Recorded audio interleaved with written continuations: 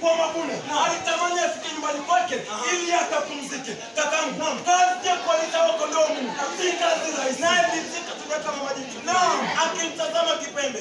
Anakum-